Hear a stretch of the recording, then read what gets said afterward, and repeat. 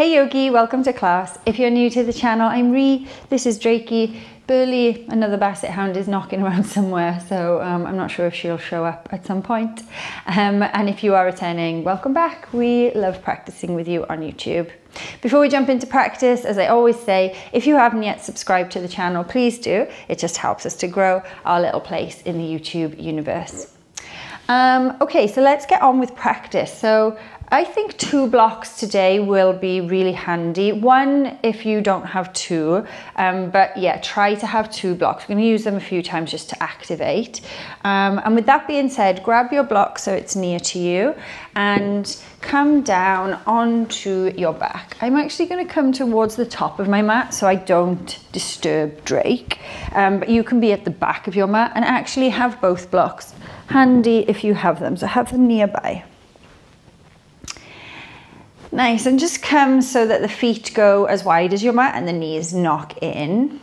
Do anything you need to do so that you can kind of eliminate the fidget and eliminate the kind of brain that says, oh, I just need to move my t-shirt, I just need to change my bobble around, or I just need to do this. So do all of those things so that you can just settle in here.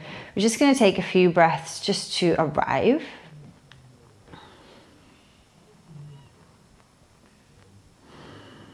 Allow your shoulders to start to melt. Allow your arms, your hands to be a little bit heavy. Mark the start. Make this the starting point. Leaving whatever you have to do after this in the future and leaving whatever happened before this moment in the past and just center yourself in this very, very present moment.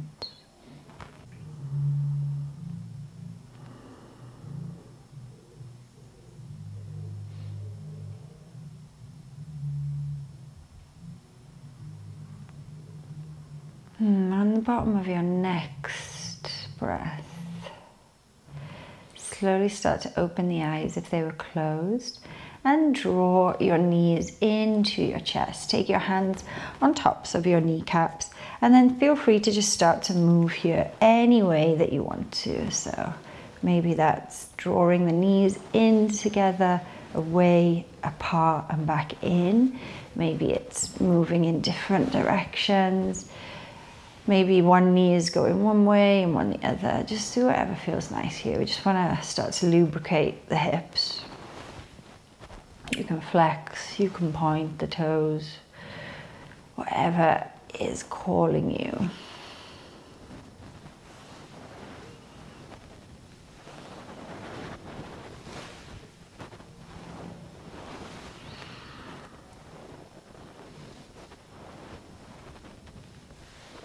Nice. And then from here, um, we're going to grab our blocks. So if you only have one block, don't put one under your head like I am. Keep it for in between your legs. If you have two blocks, we'll start actually on the left just so you can see me. If you have two blocks, then feel free to pop one under your head and then squeeze one in between the legs. Let the arms go out into a T and then let both knees fall over to the left. Um, and feel free to just shuffle around here, but we want to kind of get the um, knees to come directly out of the hip socket. So you've got this nice 90 degree angle, and then you can just have the head there uh, on your block for a bit of support. Um, but you could use a blanket or you don't need to. I don't always have the second block, but it just can be nice. Then from here, that left palm is going to face up and reach the left fingertips away from you. As you inhale, sweep your right arm up. So really try and reach through the ceiling and then start to just send the right fingertips over and beyond if possible the left hand. If they don't reach beyond then you're just reaching as far as they'll go. But we want to try and take them beyond the left. And then from here really squeeze your block. So don't allow the legs to just sort of hang. Make sure that you give them something to do so squeeze your block. And then as you inhale we're just going to sweep. So the fingertips are going to chase the mat or chase the earth and stay connected for as long as you can before you have to lift. Now, I am immediately pretty much having to lift because of the dog um, and I don't want to keep bothering him. So, um, but you can just keep your hands connected the whole time. And just notice if there's a point where you do have to lift the fingers, that's fine. You just want to gently open up the shoulder. Sorry, Drakey. just take a few of these circles here, allowing your shoulder just to get a bit lubricated, kind of like we did with the hips and the thigh bone. Now we're just working into that glenohumeral joint, the shoulder joint. Nice, when you've done that a few times, you're gonna flip sides. So you might need to scoot yourself over to your left, allow your legs to come, come down onto the right side. Maybe you move the block. I will actually move even further away from the mat, at the top of the mat, um, so that I'm not hitting Drakey. Okay, so that right palm now reaches far away from you. Right palm is up. Then sweep the left arm up so that you can allow it to close. Left hand beyond your right fingers. And then we're going to sweep. And take it as far as you can before you feel like your knees are coming apart or lifting up from the earth. So if that means that at some point you lift the fingers away from the earth, that's absolutely fine. Just keep opening here, just gentle movement.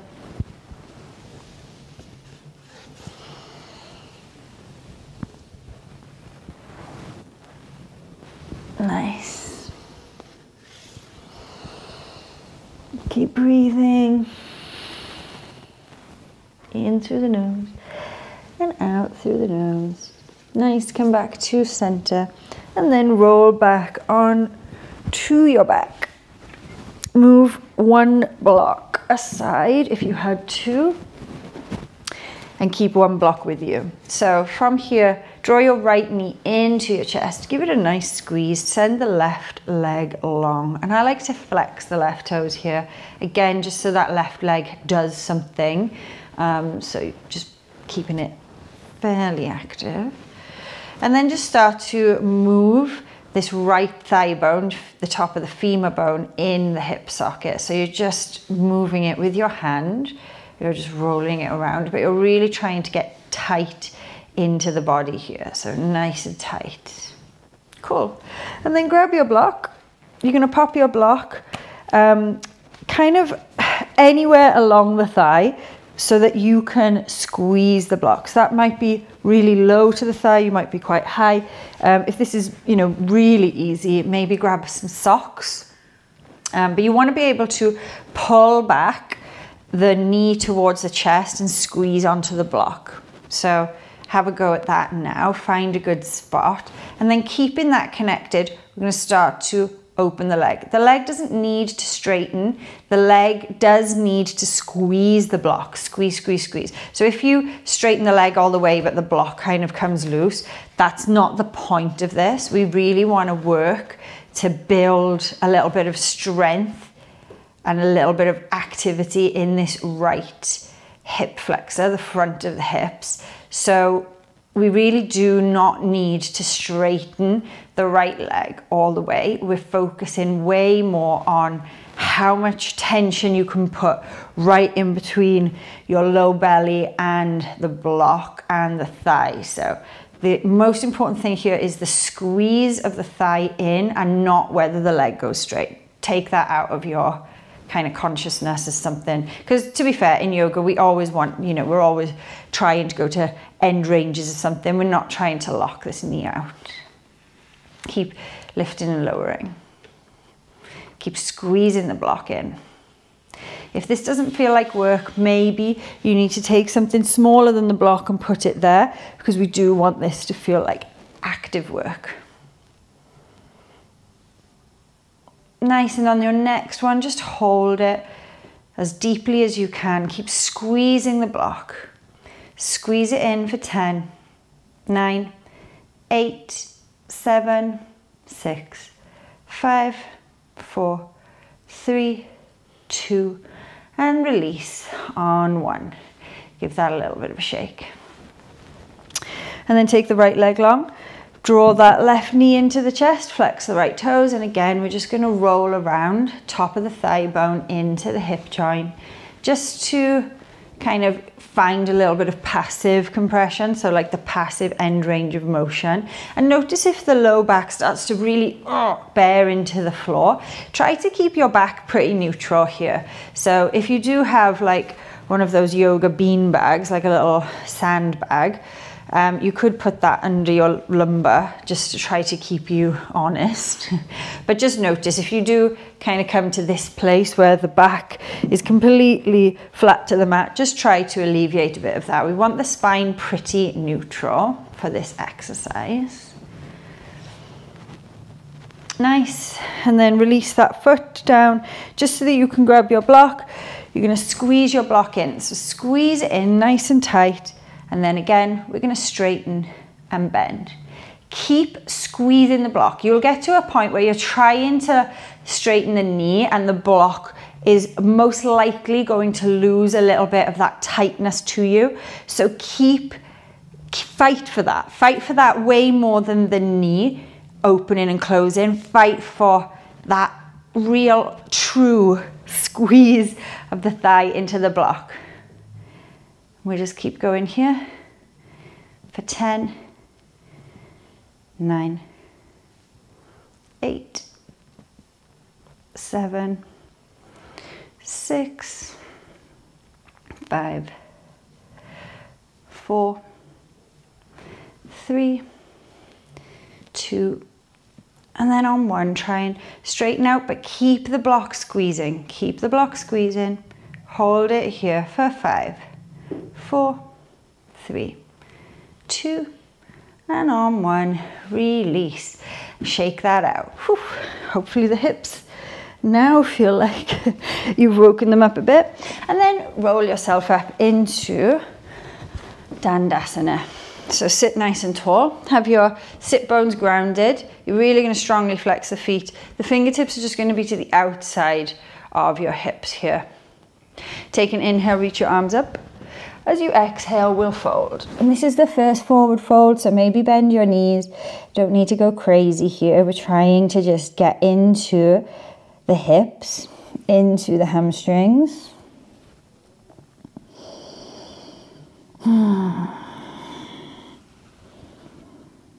And then come all the way up. Nice. Take your blocks. We're going to put them on the sort of middle height. So if that's the low, mid and high, we're kind of going to go for this middle place. And you want to have your blocks, take your legs a little bit wider. Um, we want to be able to lift the foot and go across the blocks, okay? So if when you lift the foot, you are back here to do that, then we're kind of escaping the work, yeah? So we really want to be like up and over our hips as we can. We don't want to be sitting back and tucking the tailbone under because if we do that, we're not using the strength of our lower abs and we're not really using the hip flexors to move the leg. And we really do want to get that engagement. We want to get the hips fired up. So really try and sit tall. If that means you need to have your fingertips behind you to keep you honest, totally fine. And if you need to pop a blanket underneath your sit bones, that might help as well. But ideally we wanna be up and on top of ourselves. So we, we don't want this sort of like tailbone tucking under.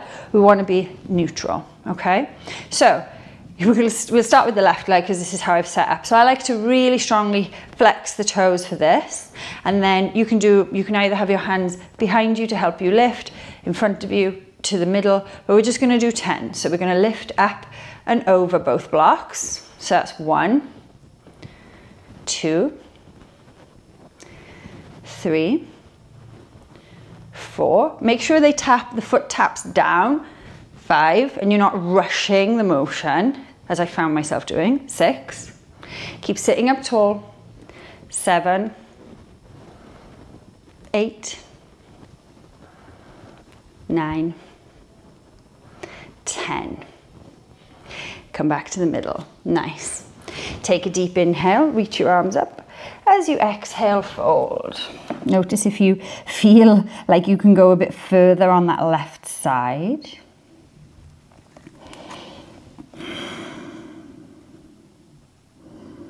And then come back up. Nice.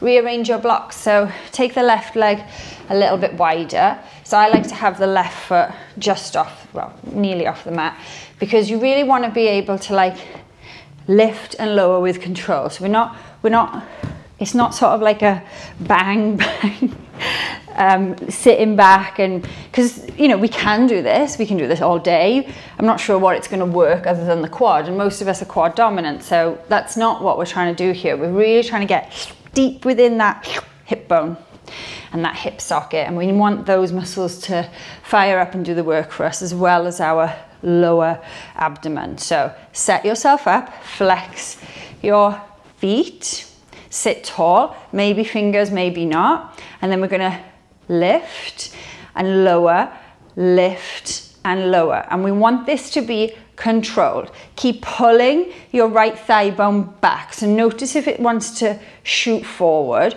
Notice what the left leg is doing. Try to keep it active as much as you can. That's going to help square off your sit bones. I have no idea how many we've done. So let's go for another five, four, three, two, ooh, and one. Nice. Remove the blocks. We are done with the, that torture for now. Inhale, reach your arms up, flex your feet back towards your shin. As you exhale, we'll fold over Paschimottanasana. You can take Yogi toe lock. You can let the hands go by your side. Just looking to find a nice forward fold here and feel free to let the back round. Yeah. So we've kind of been sitting in neutral slash extension. So allow yourself to just find something that feels good here. And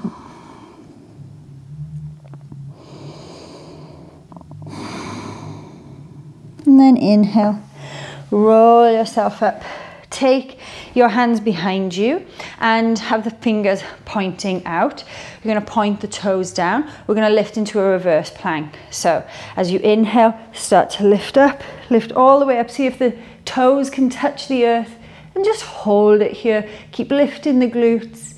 You can let the head go. We're here just for five, four, three, two, slowly lower on one. Goodness, I haven't done a reverse plank for Purvottanasana in Sanskrit for a while. That one feels intense.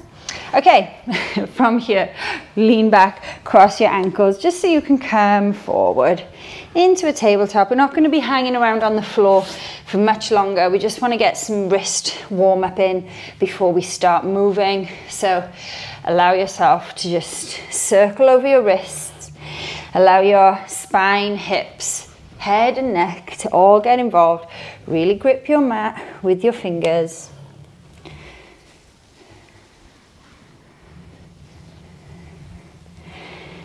Nice job. Cool. And then from here, making sure your blocks are out of your way. Tuck your toes, lift your hips. Find Adho Mukha Svanasana. It might feel nice to just pedal the feet out here. Notice how your hips feel. Maybe this down dog feels, you know, maybe a little bit more open than usual at the start of the practice. Maybe it doesn't, and that's totally fine. From here, right leg goes high, three leg dog. High onto the ball of your left toes. Draw the right knee in, Bend the left knee so you can spring forward, right foot outside of right hand. Drop the back knee, inhale, open up, take a twist. Exhale, right hand down, tuck the back toes, lift the hips, start to work to straighten the legs. They don't need to be straight, we're just working our way there into this modified pyramid. Feel free to swing that foot open and close, just loosening up through the hip there. Rebend the right knee, gently step your left foot to the outside of that left hand. Deeply bend both knees. Find an active squat. Lift your chest. Exhale to stand. Inhale, reach your arms up, Urdhva Hastasana. Exhale, sink the hips low. Active squat. Hands to the mat on your inhale, bend your elbows, step your left foot back, step your right foot back. Downward facing dog. Left leg high three leg dog, high on the ball of your right toes, bend the left knee in, spring off the right leg, left foot outside of left hand, drop the back knee, inhale to open, and exhale, let the left hand seek the mat. Inhale, work to lift both hips high, lifting the left toes up off the mat if that feels good. Coming into this modified pyramid. And again, from here if you want to open and close through that left hip you can and then rebend the left knee gently spring the right foot to the outside of that right hand inhale to an active squat exhale to stand inhale reach your arms up urdhva hastasana look up Exhale to active squat. Inhale, hands to the mat, bend the elbows, right foot goes back, left foot goes back. Downward facing dog. Inhale, roll through into a high plank pose. And as you exhale, half or full push up. Drop knees, drop forearms, drag yourself along your mat into Urdhva Mukha. And then exhale, Adho Mukha downward facing dog. Nice. From here, look to the top of your mat. Lift heels, bend knees, step or jump feet to the outside of the hands. Inhale, active squat. Exhale to stand. Inhale, reach up, look up. Exhale, back down, active squat. Inhale, hands to the mat, bend your elbows. If you want to jump straight into your push-up, you can. Send the chest forward. Drop knees and forearms. Slide into up dog. Wave it back. Downward facing dog. Look forward, lift heels, bend knees, step or jump, feet to the outside, of the hands. Inhale, active squat. Exhale to stand. Inhale up to Urdhva Hastasana. Exhale down, active squat. Inhale, hands meet the mat, send the chest forward, bend the elbows. Take your push up. Drop Dropping knees and forearms, coming into up dog. And wave it back. Downward facing dog, one more of these. Lift heels, look forward, bend knees, step or jump the feet into active squat. Inhale, lift. Exhale to stand. Inhale, reach up, look up. Exhale, back down to active squat. Inhale, hands to the mat, step or jump to your push-up and your vinyasa. Downward facing dog.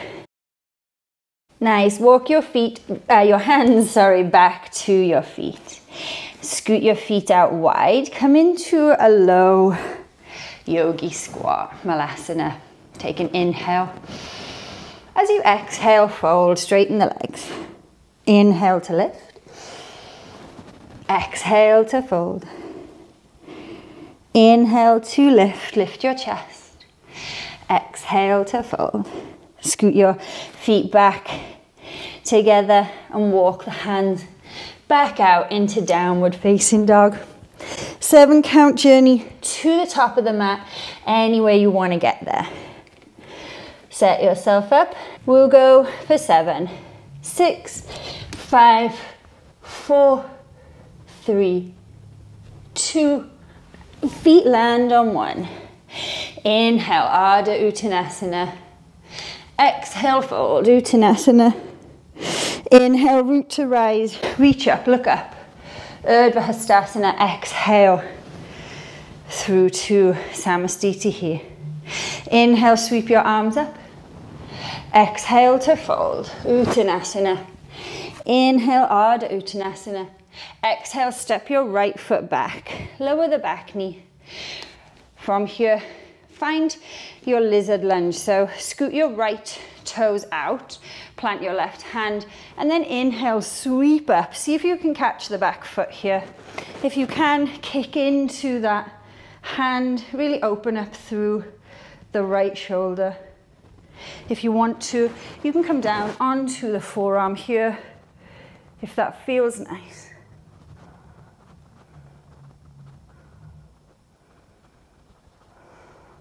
Nice inhale, release slowly without catapulting. Let the foot go back. Nice. And then from here, we'll come into our Ardha Hanumanasana half split. So straightening through that right leg. You can be up onto the fingertips here. Think about driving down through that right foot and pulling back. If you could see here, my right leg is shaking because there's that much activation there. Nice. Rebend that front knee. Square the hips off so that the feet are roughly in line with the hips and not in line with each other. Untuck the back toes. Setting up a Chandrasana lunge, so hands to the mat. As you inhale, lift that left knee, make it buoyant, squeeze your left glute. Stay here or rise up onto the thigh or reach the arms up. We're here for 10, nine, eight, seven, six, five, four, three, two, slowly lower on one. Nice. From here, you're going to scoot that right foot as far forward as it'll go. Tuck the left toes under. Come into a very wide leg lunge. So that right knee will not be kind of over the ankle. It's going to be quite far back. Try to sit up tall here. Keep shaking that, oh, keep wiggling that left foot back and come into a long lunge. We'll be here for 10, 9, 8, 7, 6, 5, 4, 3, two. Slowly lower on one, just enough so you can find your footing. We're going to come back up, this time to stand, coming into an active split. So take the feet wide, come all the way up to stand, straightening through or working to straighten through both legs. Wriggle the foot back, and then if you can, you're going to lift the right toes off. You're here for 10, 9, 8, seven, six, five, four. Feel the wobbles. Three, two, rebend, slowly lower on one. Nice. From here, we'll go into something far more traditional, Hanumanasana, full split. So, see how this one feels. Maybe you want to pop a block underneath you for a bit of support.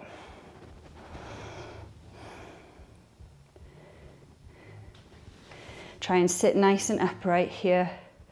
Try to square the hips off.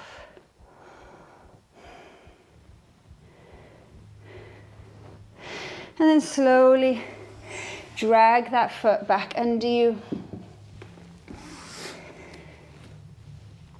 Journey to the top of the mat, either coming into a standing split, so lifting the leg, and holding it there, or we'll try and hop to the top. So you can take as many hops as you need to, that's cool. But we're just gonna hop up, so hands will plant, we'll lift up. Maybe we do one hop, maybe we do a few.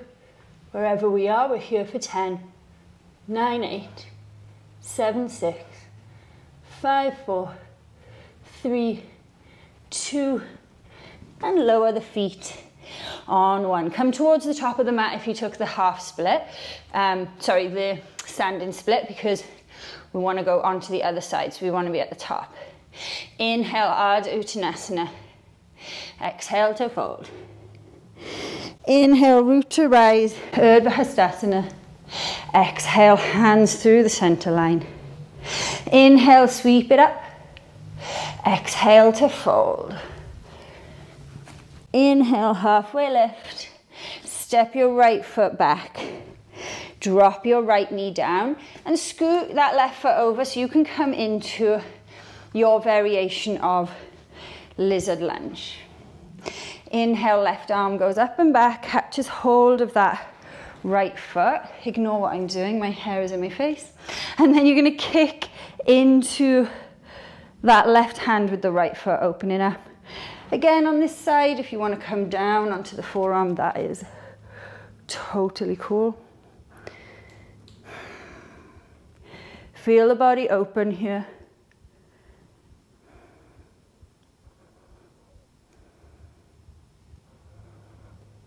Keep kicking into that hand with the foot if you've got it. If you don't have it, keep driving the foot in towards your hand, really activating through the hamstring. Slowly release. Find your way into your half split, Ardha Hanumanasana, so straightening through that left leg. Think about really driving that left heel down and back. So imagine you're trying to drag the mat back into you. It's just to help you really activate through that left leg. And we get so much more from the stretches if we're active in them rather than passive. So think about pulling it back, having some, some force in the action of pulling back. Nice. Bend the left knee setting up for Chandrasana lunge on this side. So untuck your back toe so the top of the foot is flat to the mat. Make sure the right foot is going straight out of the hip, left foot out of the left hip. We don't want to be on the tightrope for this. And then from here, inhale, lift onto um, the top of that right foot, lift the right knee. Maybe stay here, that's a great place to be, or maybe you come up onto the hands, maybe you reach up. We're here for 10, 9, 8, 7, 6, 5, 4, 3, 2, and slowly lower on one. Scoot that left foot forward, coming back into that awful, I know it's awful, it's awful for me too, that really long lunge. It's just gonna help us when we move into our splits. So scoot that right, left foot forward, keep the back toes tucked this time. We're gonna come up into that low lunge. Find it, try and sit tall. Arms can do whatever they want. I like them up just to help me to not lean forward. Try to lean back. And we're here. Take an inhale. Take an exhale. Take an inhale. Exhale. One more inhale. And exhale, slowly release. Just enough so that you can come back into that active split. So you know where you're going now. Maybe you want to take the stance a bit longer, that's cool. But you're going to come up, straighten through both legs as you reach up find yourself. And then maybe you lift the left toes up. Be here for 10, 9, 8, 7, 6, 5, 4, 3, 2, slowly lower on 1. Nice. And we'll come into that Hanumanasana again. So use whatever props you need listen to what your body wants rather than what you think you should be doing in this pose. Work for sensation over the aesthetic. So I find if I go really low to the floor, I open up through my hips and I don't get as much of a sensation in that right hip. Whereas if I stay a bit upright, use the block, I get a lot more out of it. So just notice the choices that you're making in Hanumanasana. You don't need to go to the mat to feel a good stretch here. Hmm.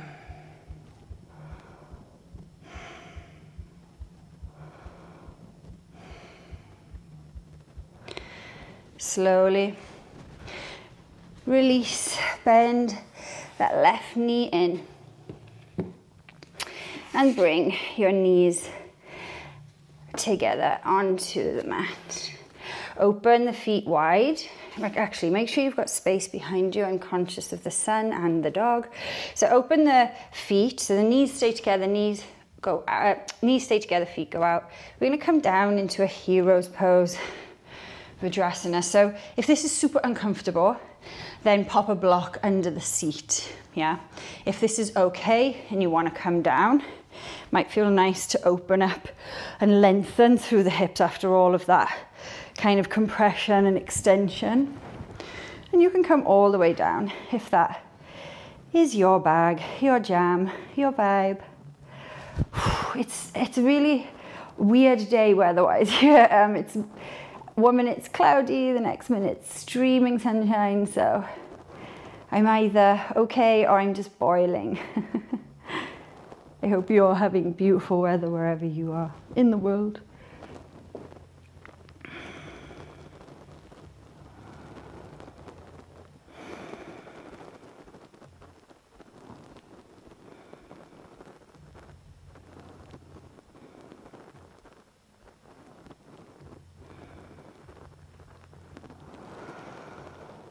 Hmm.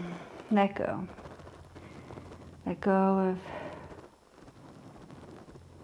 any of the tension that you've built up, that you've sought, that you've explored to find, let it go now. Slowly make your way all the way back up, back into your hero's pose. And then from here, swing the legs forward. We're going to take a forward fold here just to see if this one feels any different from the first one. So pop a blanket under the sit bones if you like that for your forward folds. Inhale, reach your arms up and long. And exhale, Paschimottanasana. Fold deeply.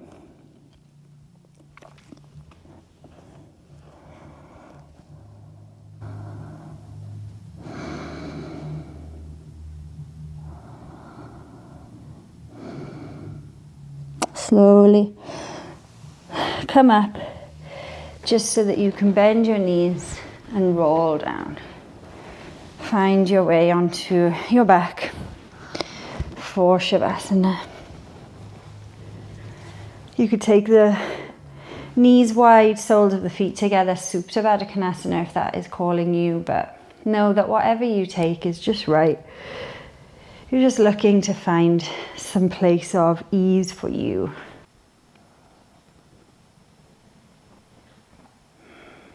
Come back into that place of center. Come back into that place of grounding.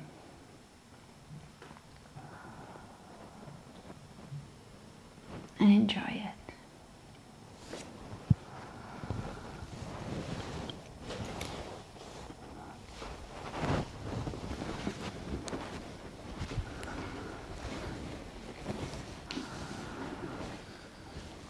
As always, I won't stay with you for this Shavasana for long. But I encourage you to stay for as long as you have. Stay in the present. The future is waiting. The past has been. Be here. As always, thank you for allowing me to be part of your practice today. I hope to see you on the mat soon. Thank you.